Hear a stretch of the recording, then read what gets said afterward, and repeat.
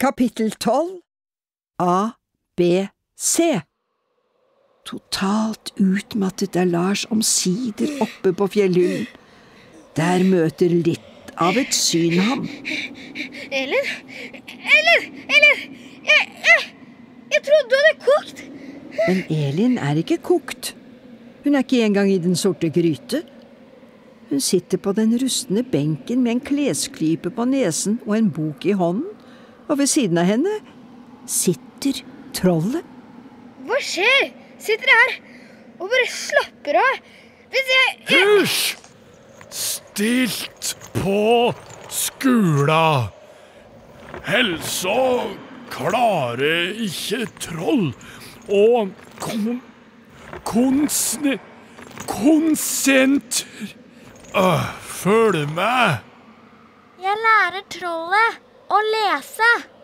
Ja, jente, lære troll. A. B. A. Veldig bra, herr troll. A, B, C. En, to, en.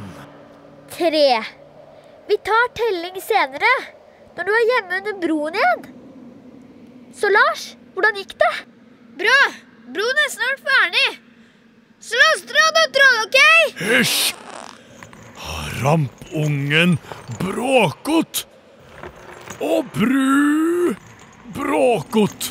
Bråkot? Hvorfor er broen bråkete? Tripp, trapp, tripp, trapp.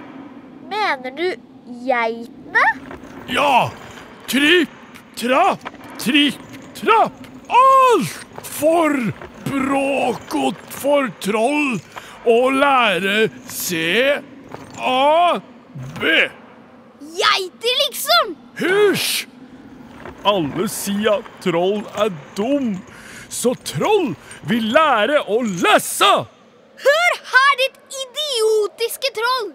Billy må ha gledestårer om tre timer, mens det vil ta minst 100 år før du kan lære å lese! For du er jo dum! Dum som en stavl! Trollet ser først ut i lufta med våte øyne. Men så smalner de samtidig som kjeften åpner seg. Og trollet stormer mot Lars og slenger han oppi den sorte gryta igjen. Hjelp! Ah, men det er skikkelig varmt! Troll kanskje dum, men rampungen enda dummere mot troll! Nå skal gutt bli trollgraut. Kjære herr troll, hvis du lar oss gå, så skal broen din bli like fin som før.